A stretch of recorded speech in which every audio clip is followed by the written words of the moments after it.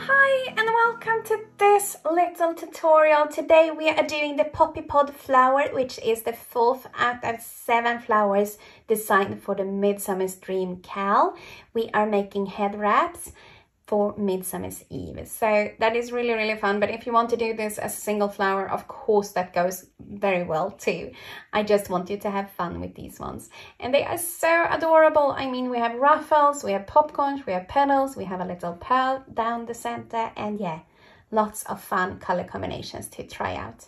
So all you need to make this poppy pod flower is three colors of yarn. We have used eucalyptus for the base, cream for the flower, and then vanilla for the center pearl. But you can use any colors you like. This is must-haves by Yarn and Colors and we have used it together with a 3 millimeter hook.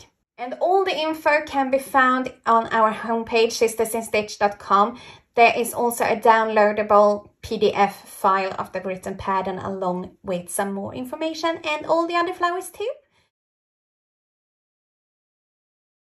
So to begin, we start with our color A thread, and for me, this is the gorgeous eucalyptus, and do a magic circle. You can also do a chain ring start if you want to, but I prefer this because I think they close neater. And what we will do is to chain one for the height. It's not a stitch, it's just height. And then we work eight half double crochets in this ring, okay? So one, two, three, four, five, six, seven, and eight. There we go. So simply pull your yarn and through your starting end and then do a slip stitch into the first real stitch and not the chain one, okay? Like that. And now to make life easier, I will just fasten this starting end off at the back, just working it back and forth a few times so it's not in the way when I'm showing you round number two. Okay, so I'm all happy with that. And now we just chain one and make a single crochet in the same stitch and one in each stitch across. So we will have eight single crochets in total like that. Super easy, super calm. Just keep track of those single crochets. And there we go. One, two, three, four, five, six, seven, and eight. And then we slip stitch into the first to finish this round off. And don't worry if it goes a little bit bubbly on you. It's supposed to do that. It's supposed to cup. And now we chain one and turn it towards us. And here's where it gets a little bit tricky because I'm going to ask you to work in the front loop. And if you have it on the right side, you know this is the front loop and that one is the back loop. The front loop is the one that's facing you. But now, as we turn our work, our actual front loop is still here, but it's now the back loop. So it's a little bit confusing, but just look as I do and not as I say, okay? and we're simply going to work in these ones, the outer ones, that the new back loops. That could be the right thing to say. So we are simply slip stitching into that one, making a half double crochet and chaining one and a half double crochet into the same space and the slip stitch. Like that okay? And then we repeat the same for the next front loop. That now is our back loop. So simply go in slip stitch make a half double crochet chain one half double crochet slip stitch. So do that five more times until you have eight and meet me up to close okay? Good luck so there we go. We have now one, two, three, four, five, six, seven, eight cuties. And to fasten this off, you simply cut your yarn, pull up the loop, thread the needle and fasten off to any place right here. I say the second stitch, but it's easier to just fasten it off. And remember, this is actually your front side, so go ahead and hide the ends down into the cup here okay? That will be the neatest place to hide them. So there we have it. Our base petal is done and now we are making gorgeous little popcorn sections and petals and then lastly we will do the pearl, okay? So grab your color that you are going to use for your flower and let's begin.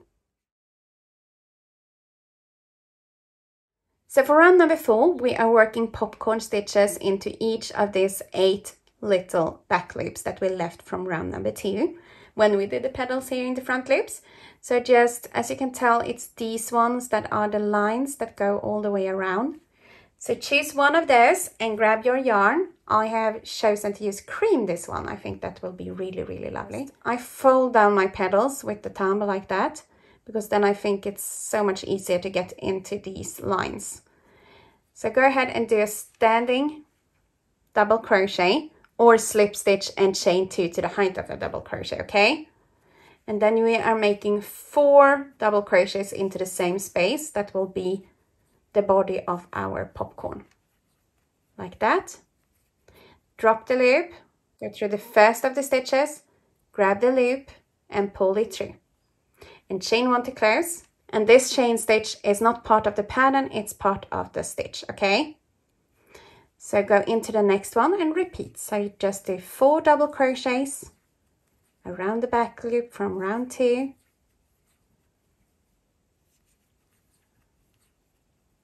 Like that. Drop the loop, go through the first of the four, grab it, pull through and chain one. So do that for all six leftover loops and meet me up to close this round, okay? Have fun! And here it is, we have eight popcorns placed all the way around. And before we close this one, I'm just raising the loop, I'm going to take the time and actually weave in our starting end first because after we have closed this, it will be quite hard to get in there, okay? So to do this the best way, I would actually go down the side, down here, like that, not pulling too tightly.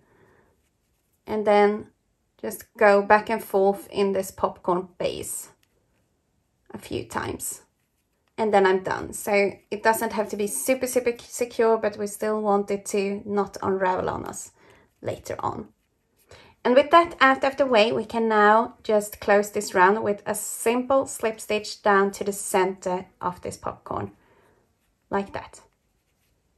And it's so cute already. Oh, this is gonna be so much fun. So now we are building a base for our petal in the next round. So yeah, let's get going. So what we will do now is first chain one to get the proper height and then we are going back down our popcorn, grabbing the yarn and pulling up a loop because we are working at single crochet decrease over the popcorn and the space between the popcorns. So just separate them slightly with your finger and you will see exactly where to go. We're going around that closing chain space. Grab the yarn and pull up a loop, grab the yarn and pull through all three loops. And that is our first single crochet decrease. And then we're doing the same here. We are going into the center of the popcorn, pulling up a loop, going between the popcorns. Make sure that you don't grab any double crochets as you go and pull through. So we are adding some fabric because if we were otherwise just doing single crochets in the popcorn, we would not have as much covered space here as we get with a single crochet worked two together. If you know what I mean. it will be really pretty. So just go ahead and do that for all eight stitches and chain spaces that are in between the popcorns. Just slow and steady, like that. And eight, like that. So as you can tell, we have closed up our gap here quite a lot and we have something really fun to work with now. So to close this round, we simply slip stitch into the very first single crochet, which is here. And after you have slip stitch, just chain one and get ready for round number six.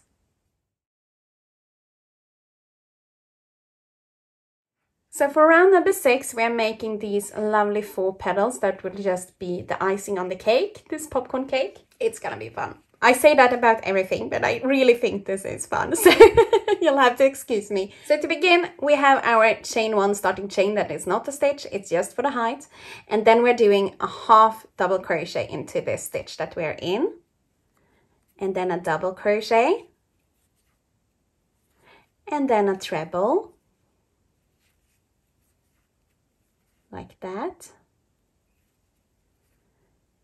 And then we are going back down, so we are doing a double crochet into the same stitch and a half double crochet. Like that. And then we're slip stitching into the next.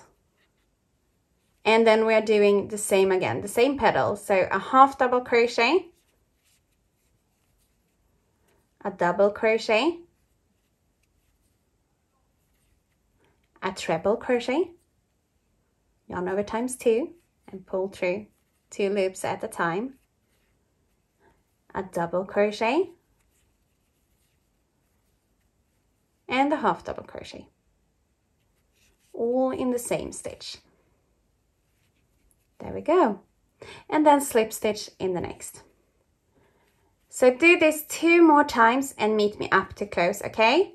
Oh, it's so cute already. And there we have it, the final slip stitch has been made.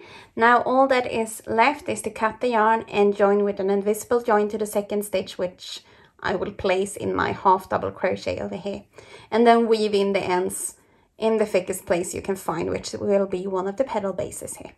So do that and meet me up for the final little part, which will be the little bead that we place in here. See you soon. So as you can tell, there is something missing in our little flower. We need a little center to really make it pop and look super finished. So that is what we are going to do. So grab your chosen yarn and let's begin. So for this flower, I have made the choice of going with yellow. I do love a sunshine pop in the center. So we're doing a magic circle and then we're chaining two. And if you have done two of the other flowers from this cal, the butterfly pop or the purple pop flower, you will know exactly what we are doing now. But we are doing 10 double crochets into this magic circle. I'm just going around and around and around here. Nine and 10. Like that, like a little sunny fan. So cute. Oh, I really love this flower. It's such a calming one to make, but it still, it happens a lot. So, so what you will do now, I almost forgot to give you an instruction here, is to slip stitch into the very first of the double crochets. Not the half, not the, not the chain two stitch, but to the first double crochet and then you cut off about 20 centimeters so you have something to work with. And then you fasten off your starting tail before you do anything else because otherwise it will be really really tricky. So what I do to get these centers really tight is simply to go around it and just tighten as I go to just pull the stitches together. So it really stays shut especially since we are creating a little pearl. We want this center to be really secure and not go anywhere. We don't want it to gap. And then we take our end tail, our long end tail, and we are going through the back loops. You know, this is the front loop, that is the back loop.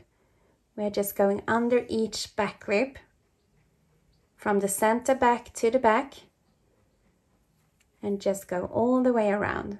So you will do this 10 times.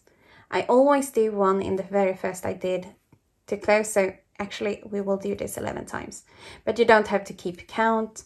You will notice when you get to the end. So as you can tell, it the thread just lines itself very lovely around your little circle. And when we pull on this, magic happens.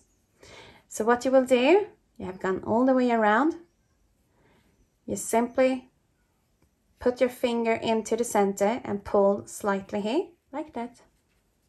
And just shaping it a little bit with your fingers and you have a little ball. Super, super cute. So what I'll do is just go through it two times to make sure that it stays in place like that. And then I go back up the center. So, because I want it to, to go right down the center of the flower and be placed in the middle. So grab your little flower now and simply put it back down the center like that and just pull it into place. Boop. Ah, so cute. Look at that. oh, I love this. This this is uh, such a fun thing every time. I, I don't know how many times I've done this this week, but I still think it's really, really lovely. So what I will do now, since this will be staying in a cup, I'm just going to secure it a few times on the back, uh, hiding it here. And I will attach this to a headband. So if it shows a little bit on the back, it doesn't matter. And for whatever you use it, I hope you will have a lot, lots and lots of fun with it.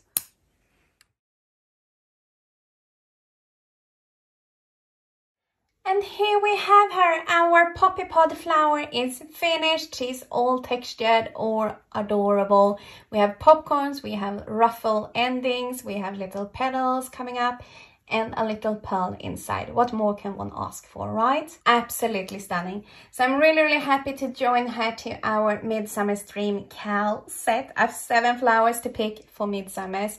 And yeah, play around with the colors, see which ones you like. You will need to make two of these for the cal and then we attach them to the headbands. So, oh, so much fun. I hope you like this tutorial. I hope you're having a really, really fun time with us here at Sisters in in the Midsummer Week. So if you like this, please give us a thumbs up, leave a little comment below and turn the notifications on. Subscribe to our channel and you know, check out the homepage. We have the downloadable free patterns there and yeah, lots and lots of crochet fun. So until next time, see you later.